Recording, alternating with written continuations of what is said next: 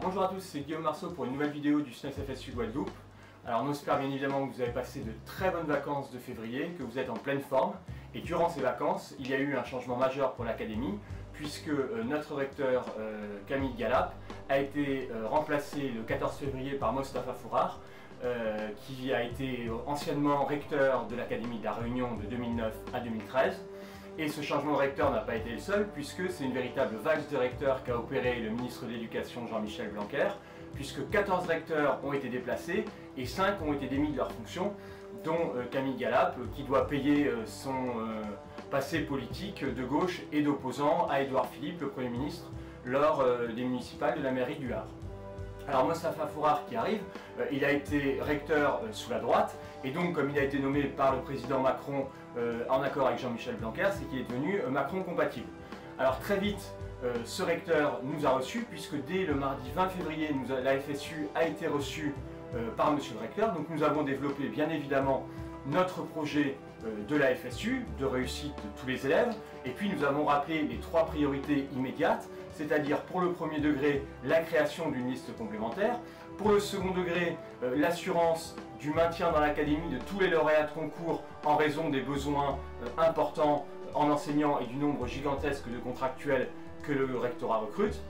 Et puis le troisième point, bien évidemment, euh, c'est la situation à Saint-Martin, où nous avons demandé très vite euh, que soient prises des mesures pour que euh, Saint-Martin puisse retrouver euh, la normale, que Saint-Martin ne soit pas abandonné comme elle l'est aujourd'hui, avec des conditions d'enseignement catastrophiques, du co-enseignement imposé, des doubles vacations dans le premier degré, des conditions de vie absolument déplorables. Il y a urgence à ce que l'État et la collectivité de Saint-Martin prennent leurs responsabilités et mettent en place un véritable plan d'urgence.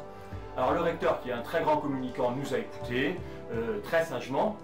mais dès le lendemain matin, dans France Antilles, il a développé son véritable projet à lui, euh, sa lettre de mission, en quelque sorte, et il a expliqué que ses deux priorités, c'était d'une part euh, dédoubler les CP et les CE1, mais en éducation prioritaire seulement, et on sait que l'éducation prioritaire, c'est une véritable peau de chagrin dans l'Académie de Guadeloupe, et puis ensuite, développer des classes prépa euh, dans le supérieur.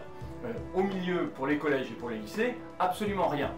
Alors nous, au SNES FSU, on dit clairement qu'on est d'accord pour la création de classes préparatoires, mais de la création de classes préparatoires qui doivent être faites avec des moyens supplémentaires. Or, on sait très bien qu'on est dans un budget contraint euh, dans le cadre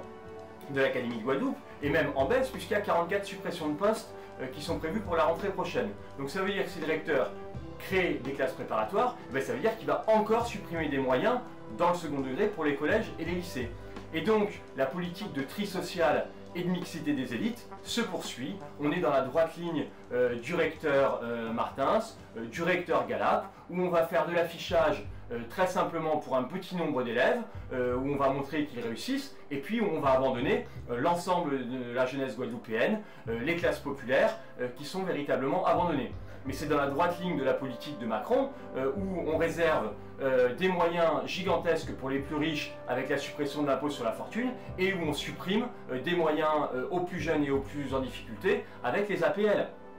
Là, ce que propose le recteur Fourard, c'est exactement la même chose. On va supprimer des moyens à tout le monde aux classes populaires, et puis pour une toute petite minorité, on va réserver beaucoup de moyens dans le cadre de classes préparatoires. Donc cette politique-là, nous à la FSU, on n'en veut pas. Euh, on demande à ce que tout soit fait pour aider tous les élèves. Et donc si on est favorable bien évidemment à dédoubler euh, les classes de CP et de C1, il ne faut pas s'arrêter là. Parce que sinon c'est complètement inutile. C'est une politique de saupoudrage qui ne servira strictement à rien. Et les 1000 élèves qui disparaissent du système scolaire tous les ans sans aucun diplôme euh, et qui vont alimenter malheureusement